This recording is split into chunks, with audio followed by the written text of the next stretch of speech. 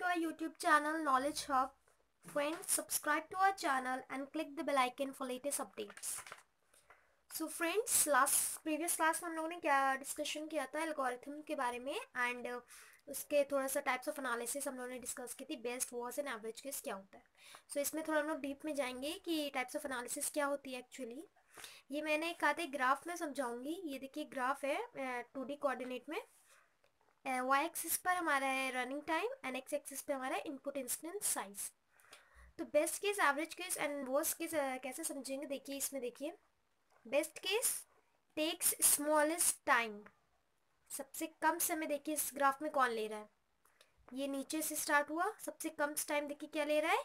Best case हमारा okay तो it take smallest time अब एवरेज केस बीच में क्योंकि स्टार्टिंग ये यहाँ से हुआ है तो एवरेज केस हमारा हो गया। इट टेक्स एवरेज टाइम मेरा वर्स्ट केस हमारा सबसे ज़्यादा टाइम ले रहा है maximum number of time okay and second हमारा क्या पॉइंट है? The function which performs the minimum number of steps on input data of n element. Best case पिछली प्रीवियस क्लास में भी हम बता चुके हैं क्या होता है, जो कि सबसे मिनिमम नंबर ऑफ़ स्टेप्स में एग्जीक्यूट हो जाए नंबर ऑफ़ जो हमारा रनिंग टाइम है, वो हमारा कम हो।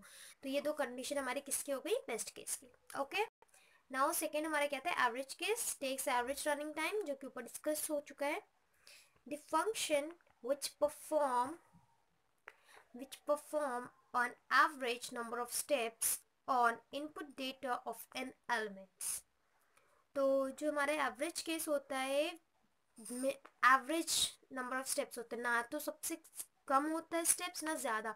वर्स्ट केस और बेस्ट केस के बीच जो हमारा केस आता है, वो हमारा होता है एवरेज केस जो कि हमारा एवरेज नंबर ऑफ़ स्टेप्स लेता है। Okay now the last one is worst case worst case हमारा क्या होता है? It takes maximum possible time discussed हो चुका हमारा।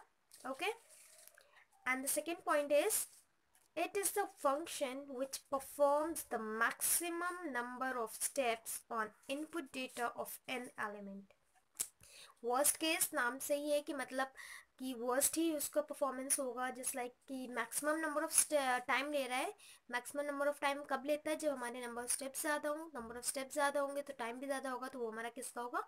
वर्स्ट केस का होगा ओके सो so, एक यहाँ पे एग्जांपल्स में समझाना चाहूँगी। बहुत ही बेसिक एग्जांपल है लीनियर सर्च वो आगे एक चैप्टर का है सॉर्टिंग सर्चिंग एंड सॉर्टिंग तो उसमें आप लोग उसको और डीप से पढ़ेंगे। बस यहाँ पे थोड़ा सा एग्ज़ाम्पल देख लीजिए क्या होता है लीनियर सर्च एक हमारा ये एरे है ओके जिसमें ज़ीरो से टेन एलिमेंट्स है तो इंडेक्स हमारा ज़ीरो से नाइन स्टार्ट होगा। तो ये हमारा इंडेक्स है zero one two three four five six seven eight nine and the zero place पे कौन सा एलिमेंट है? एट वन पे सिक्स टू पे twelve and so on till nine पे एटीन ओके तो हम लोग को यहाँ पे क्या करना है? सपोज़ कि we want to search an best case में हम लोग को क्या सर्च करना है इसमें? Search key element present at first index पहला इंडेक्स मतलब ज़ीरो पे। तो देखिए, अगर हम लोग को एट सर्च करना है लीनियर सर्च क्या होता है? पहले वो यहाँ से शुरू होगा, यहाँ से जाएगा, पहले इसको देखिए अगर ये एट है तो रिटर्न कर देगा अदरवाइज़ नहीं है तो फिर ये आगे बढ़ेगा, ये नहीं होगा, तब आगे बढ़ेगा।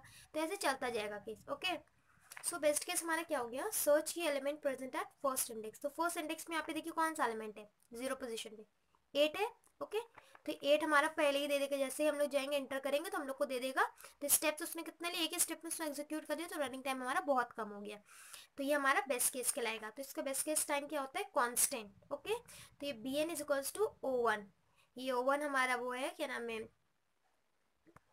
अजिमटोटिक नोटेशन ओके तो B N is equals to O one one हमारा कॉन्स्टेंट को डिनोट करता है। Now the worst case search key element at the last index इसका वर्स्ट केस टाइम क्या है? एन लास्ट इंडेक्स ऑब्वियसली बात है, इसको पूरी एरे को ट्रैवल करना पड़ेगा। ज़ीरो पहले ज़ीरो करेगा। देखिए, पहले ये ज़ीरो करेगा, फिर ये वन पे जाएगा। वन पे नहीं मिला एट नाइन एटीन तो टू पे गया।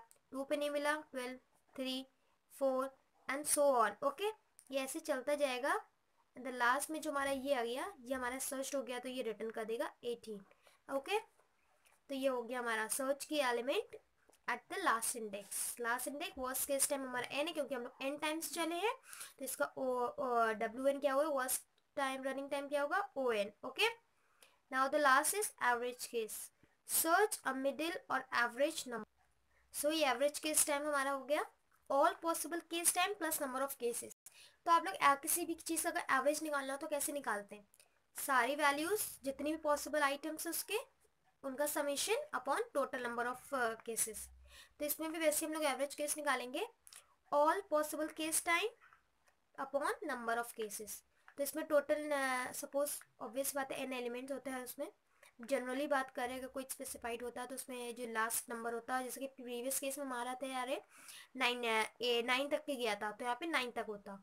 तो यहाँ पे हो गया one plus two plus up to N upon N N हमारा हो गया total number of time now अब इसका आपको फॉर्मूला पता होगा, जो मैथमेटिक बैकग्राउंड से होंगे, उनको इजीली पता होगा, अगेन अगर जो मैथमेटिक्स से नहीं भी हैं तो उनके लिए मैं ले आई हूँ formula N N plus one upon two ये हमारा होता है फॉर्मूला इसका ओके एन नंबर्स का।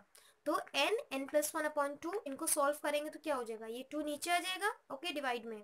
टू नीचे आ जाएगा, ये ये एन सी एन कटा तो क्या हो जाएगा? N plus one upon two ये क्या हो गया हमारा? Average case time A N A N is equals to N plus one by two okay so यहाँ पे नेक्स्ट पॉइंट आ गया time complexity time and space complexity ये भी बहुत इंपॉर्टेंट टॉपिक है।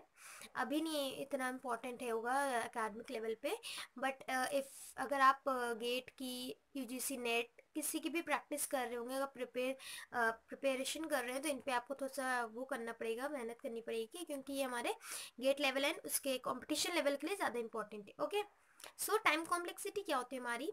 If the number of steps required to complete its run for an input of size n is always less than equals to tn. तो time complexity क्या होता है?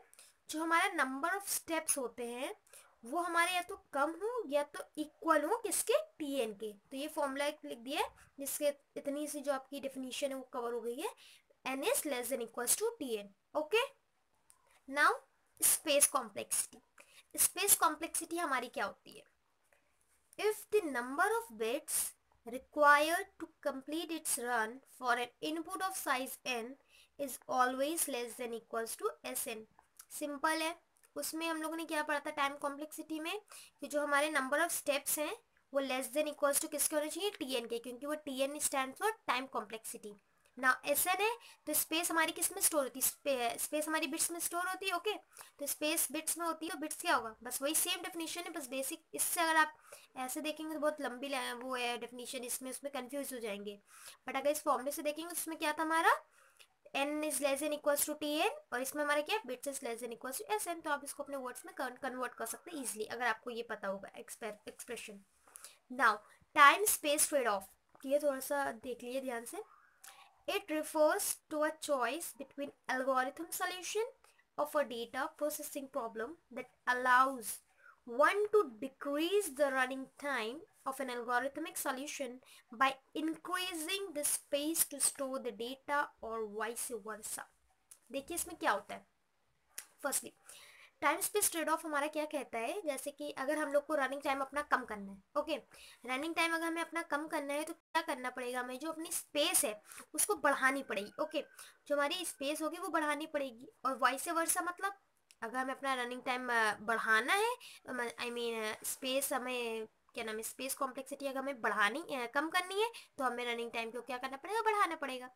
तो वही है, जैसे या तो हम लोग अपनी रनिंग टाइम को बढ़ा दें और स्पेस को कम कर दें, या तो स्पेस को बढ़ा के रनिंग टाइम कम कर दें। वही सिंपल है वही से वर्ष है so guys with this we come to an end of tutorial so hope you enjoy this video if you like this video please give a thumbs up and subscribe to our YouTube channel knowledge of and give you suggestion in comment box so we can improve our classes okay thank you